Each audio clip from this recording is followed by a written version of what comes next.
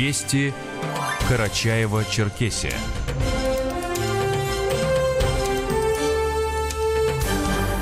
Здравствуйте, уважаемые радиослушатели. В студии Руфина Ковалева. Сегодня в выпуске. В ауле Адельхалк Ногайского района завершился капитальный ремонт средней школы, проводимый по поручению главы Карачаева-Черкесии Рашида Тимризова.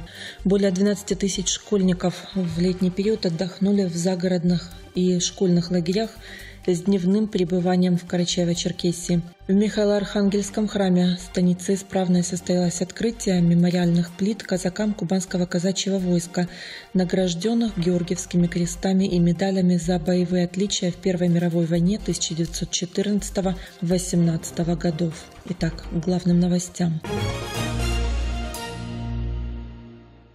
В ауле Адельхалк Ногайского района Карачаева-Черкесии завершился капитальный ремонт средней школы, проводимый по поручению главы республики Рашида Тимрезова. Рабочая группа министерства, глава администрации Ногайского района Мурат Хапиштов, представители родительского контроля оценили готовность школы. Полностью обновлена материально-техническая база учебных помещений, появился новый актовый зал с комфортными креслами, современная сцена, где будут проходить театральные кружки и секции и все общешкольные мероприятия. Кроме того, в обновленном здании школы, рассчитанной на 300 мест, появится точка роста, новое современное оборудование для школьной столовой. В рамках исполнения поручений президента России по модернизации школьных систем образования еще в пяти учреждениях Карачаева-Черкесии капитальный ремонт завершится в следующем 2023 году. В рамках благотворительной акции Народного фронта «Все для победы» продолжается сбор средств для оказания поддержки жителям Донбасса, а также бойцам Донецкой и Луганской народных республик, ведущим борьбу за их освобождение. По словам координатора по работе со средствами массовой информации Народного фронта по Карачаево-Черкесии Зураба Бемурзова, в основном гуманитарный груз состоит из товаров и предметов, указанных на сайте в числе запрашиваемых. Отрадно, что наши земляки так активно отозвались на эти сборы сборы Народного фронта уже несколько месяцев э, трудовые коллективы, организации и простые люди подходят к нам, спрашивают, как помочь жителям и бойцам Донбасса. Мы отзываемся на все эти предложения, как большие предложения трудовых коллективов, так и простых граждан. Мы благодарны всем, кто принимает э, в этом участие. Власти изменили систему льготного кредитования бизнеса, объединив две программы в одну и сильно снизив процентные ставки. Ранее малый и средний бизнес мог получить займы и кредиты на пополнение оборотных средств по ставке от 13,5%. Теперь вместо них будут выдавать кредиты по ставке 4,5% и 3%, которые можно потратить на закупку оборудования, капитальный ремонт производственных помещений или запуск новых производств. Срок кредита увеличился до 10 лет. Льготная ставка будет действовать не более одного года. Льготные кредиты доступны компаниям из реестра малого и среднего бизнеса, а также самозанятым из любых отраслей экономики. В приоритетном порядке льготные кредиты получат малые и средние предприятия, работающие в сфере переработки сельхозпродукции, логистики и гостиничного бизнеса. В рамках празднования столетия республики мы постарались с значительным опережением графика сдать объект. Как объект на реке Уруб, это строительство берегоукрепительного сооружения, так и капитальный ремонт на реке Тиберда в Карачаевском городском округе.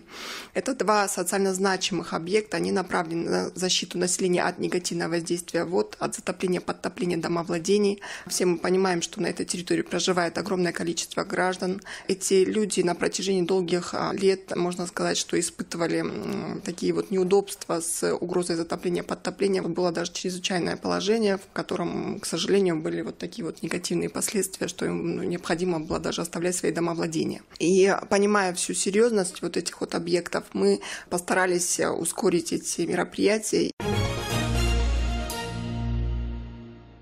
По подозрению в совершении мошеннических действий задержан 31-летний житель Владикавказа.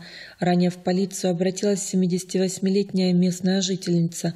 Она рассказала, что ей на городской телефон позвонила неизвестная, представилась ее дочерью. Она сообщила, что переходила дорогу в неположенном месте, ее сбил автомобиль. Далее якобы трубку взяла следователь и пояснила, что водитель транспортного средства, не справившись с управлением, врезался в дерево и находится в реанимации, и что для невозбуждения уголовного дела необходимо передать миллион рублей, после чего пенсионерка сняла денежные средства в одном из банков Черкеска и передала неизвестному мужчине, который ждал ее в назначенном месте. Отделом дознания отдела МВД России по Усть-Джигутинскому району в отношении 58-летнего жителя возбуждено уголовное дело по признакам незаконного оборота наркотиков, мера пресечения, подписка о невыезде и надлежащем поведении. Сотрудники полиции по Усть-Джигутинскому району перед входом в его домовладение обнаружили полимерный мешок, внутри которого были различные части растения мак.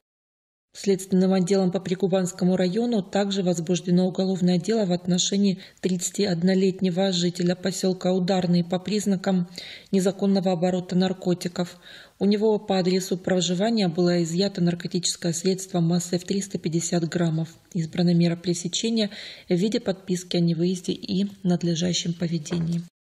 На северном склоне главного Кавказского хребта на леднике Птыш туристы обнаружили артиллерийские немецкие снаряды времен Великой Отечественной войны. Прибывшие на место взрывотехники Росгвардии идентифицировали опасные предметы и с соблюдением всех мер безопасности найденное было уничтожено на месте накладным зарядом. Открытие мемориальных плит казакам кубанского казачьего войска, награжденных Георгиевскими крестами и медалями за боевые отличия в Первой мировой войне 1914-18 годов, состоялось в Михаил-Архангельском храме станицы Исправной. Мероприятие приурочили к столетию Карачаева-Черкесии. Сборы материалов о георгиевских кавалерах начались давно. В течение нескольких месяцев составлялись списки о георгиевских кавалерах, выходцах из станиц Баталпашинской, Усть-Джигутинской, Зеленчукской, Карданикской, Сторожевой и Исправной. Работой занимались ученые-историки Павел Николаевич Стрелянов, Колобухов, написавший фундаментальный труд «Казаки кубанского войска в Великой гражданской войнах и эмиграции», а также представители Баталпашинского исторического общества, действующего при Никольском соборе города Черкеска, куда входят около 20 действующих историков и краеведов Карачаева-Черкесии, занимающихся изучением истории родного края. Это и работа в архиве, и распределение данных по отношению к той или иной станице, разработка макета и изготовление плит. В честь торжественного открытия мемориальных плит был дан оружейный салют. Медресе-интернат в селе Учки-Кен объявляет набор студентов на бесплатное обучение. Набор ведется до 10 сентября. Для того, чтобы попасть на собеседование, всем абитуриентам от 14 лет и старше необходимо заранее записаться через WhatsApp по номеру 8 928 817 4200 Учеба в медресе осуществляется по трем направлениям. Имам Хатиба, преподаватель исламской религии ханафитского масхаба, курс обучения 4 года. Хафиз, чтение Корана наизусть 3 года. И основы ислама 2 года. При медресе имеется специально оборудованное общежитие, где студенты могут находиться круглосуточно, а также столовая. На территории Карачаева-Черкесии, Кабардино-Балкарии, Северной Осетии, Ставрополя и Кубани режиссер и продюсер проекта Бешер Ерока планирует снять серию документальных фильмов для адыгской медиа-энциклопедии. Все серии будут сопровождаться авторской музыкой. Эпизоды планируется перевести на английский, турецкий, арабский языки, чтобы их смогли увидеть представители диаспоры за рубежом. Серии хотят показать на различных фестивалях, кинофорумах и кинотеатрах, а затем выложить в свободный доступ в интернете. Карачаево-Черкесию прибыла команда волонтеров проекта «Заповедная школа Русского географического общества» на особо охраняемых территориях. Целую неделю они помогали нашим специалистам в благоустройстве Тибердинского национального заповедника, а также успели очистить от мусора ряд заповедных территорий республики. Об этом рассказала руководитель проекта «Заповедная школа» Русского географического общества Екатерина Белякова. Заповедная школа РГО, она объединяет разные заповедные территории э, с целью проведения молодежных проектов, где ребята помогают в развитии заповедных территорий, участвуют в очистке троп, занимаются интеллектуальным трудом, ну и также медиа-волонтерством, создают фото и видеоконтент.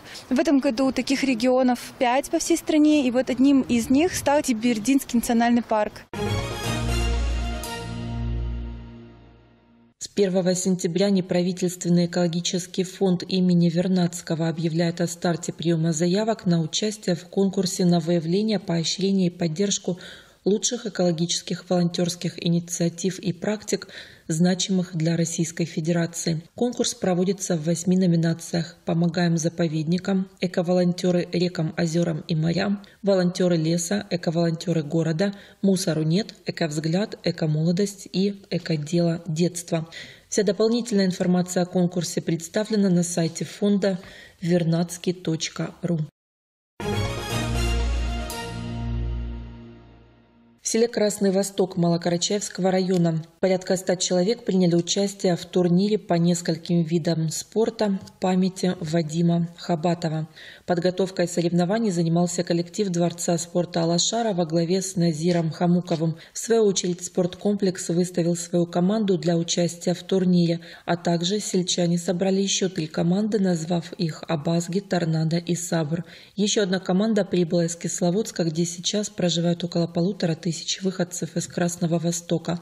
В программу турнира вошли состязания по мини-футболу, стрельбе из лука и пневматической винтовки, дартсу, шахматам и попаданию мячом в корзину. В других состязаниях лучшими стали Мурат Карданов по стрельбе из лука. Лучшим по стрельбе из пневматической винтовки стал Абдуллах Байкулов. В игре дартс победил Дамир Шереметов, а лучшим в броске мяча в корзину стал Мурат Хутов. С 23 по 25 сентября курорт Архыз примет большой спортивный праздник – забег Альпиндустрия Архыз Рейс. Соревнования соберут лучших бегунов из всех регионов страны. Спортсменов ждут 9 дистанций разных уровней сложности. Самая протяженная из них соединит Архыз и Красную Поляну. Регистрация на трейл открыта на официальном сайте мероприятия archisrace.ran. Для самых выносливых впервые в истории соревнований организована дистанция со стартом на курорте Архыз и финишем в Красной Поляне. Общая протяженность маршрута составит 127 километров. Контрольное время прохождения 37 часов. Радио России Карачаева-Черкесия. Погода.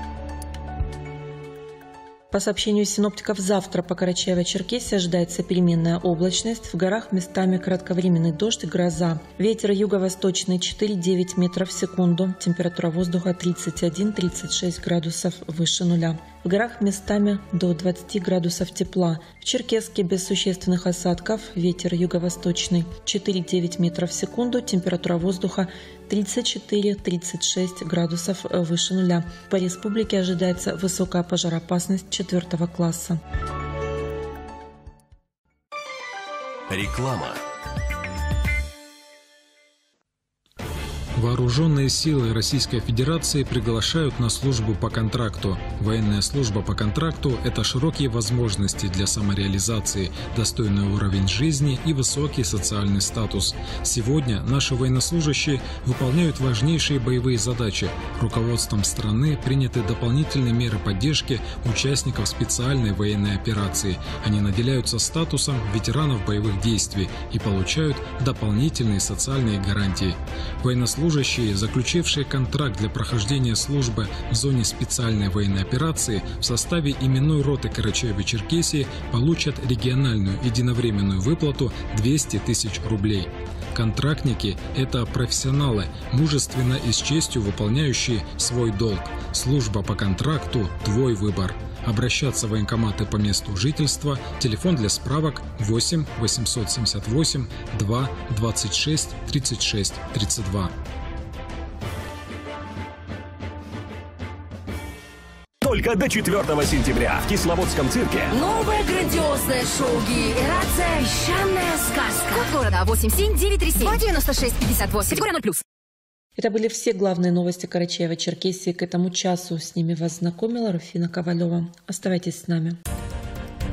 Вы слушали Радио России Карачаева-Черкесия.